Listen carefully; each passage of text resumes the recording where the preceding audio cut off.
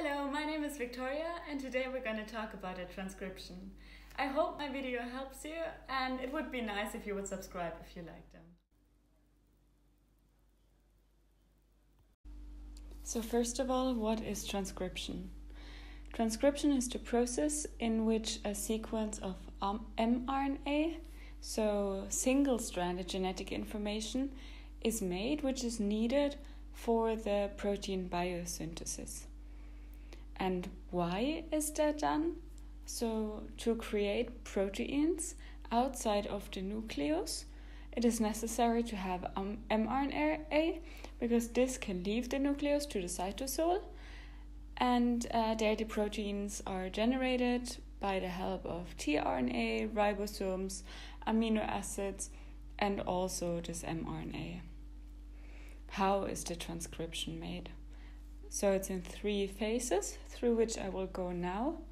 The first phase is called the initiation phase, the second phase is the elongation phase, and the third one is the termination phase. But let's start at the beginning. The first phase, the initiation phase. Here, the double stranded DNA in the nucleus is uncoiled and split into its single strands by breaking up the hydrogen bonds in the area that is needed to generate the mRNA for the uh, respective protein. And a promoter, not a primer this time, like in the replication, but a promoter, also a short nucleotide sequence, shows where the sequence that is needed starts. Then the RNA polymerase attaches to this sequence on the promoter and goes into 3 to 5 direction and takes nucleotides and attaches them one by one.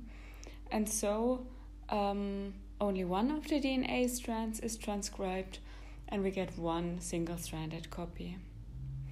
The RNA polymerase follows along um, the DNA from the promoter in the 3 to 5 direction until the terminator sequence indicates that this process can be stopped now and the sequence is completed. Then the now single stranded synthesized mRNA detaches from the DNA and the DNA is um, closed by the hydrogens again and recoiled so that it goes back to its initial form and the mRNA leaves the nucleus now and goes to the cytosol where the ribosomes are located and there then the translation can take part. Where now from the mRNA, um, by help of the amino acids, the proteins are synthesized. What is to mention also is that in the mRNA, we have on both sides a cap.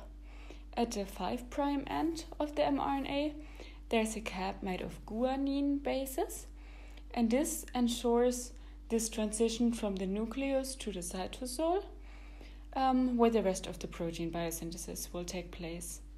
And at the 3' end of the um, mRNA is a adenine cap, so also one of the four bases, um, but the function of this adenine cap is not fully understood yet. mRNA, by the way, just stands for messenger RNA because it carries the message for the protein which is needed by the body. And now, in the end, uh, when the transcription is clear now, I want to go back to the replication and compare it to today's topic.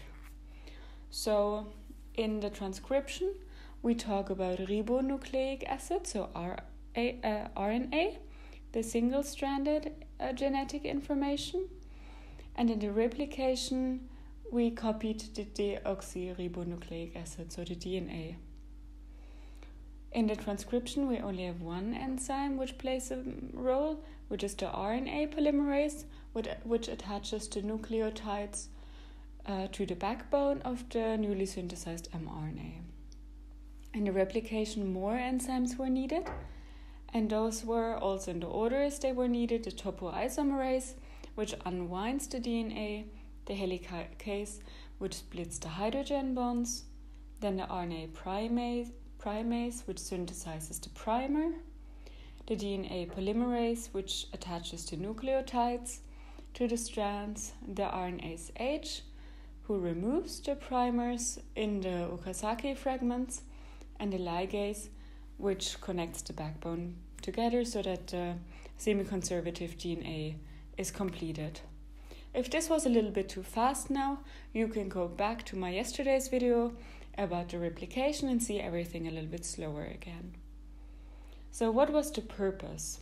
In the transcription, the purpose was to synthesize a mRNA, so a messenger, for the protein which is syn- synthesized in the cytosol. And in the replication, we made an exact copy of the whole genetic material within a cell, which is done in the interphase of the mitosis, which we will also come to um, probably by the start of next week, um, before a cell divides from 1 to 2, 2 to 4, and so on.